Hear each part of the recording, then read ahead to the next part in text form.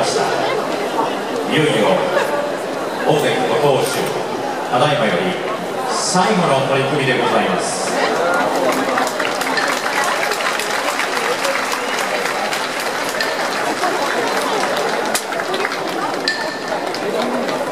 西の花道をご注目ください。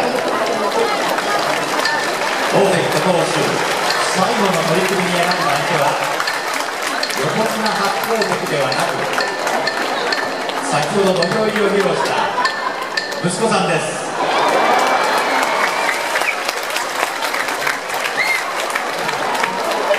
これが大関ご当主の最後の取り組みです。今までの土俵人生の中で一番の強敵です。さあ見よって。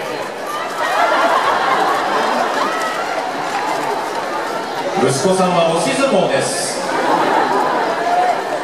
さあ頑張れ頑張れ。あちゃんとカメラ目線ですね。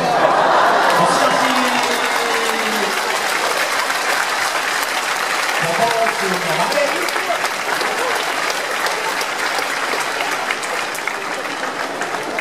大関はもしかしたら息子は怖がって嫌がって逃げてしまうかもしれないそう話していましたがどうしてどうして見事な相撲っぷりでした。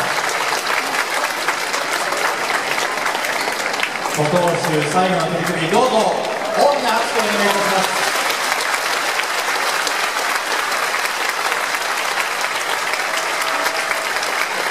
将来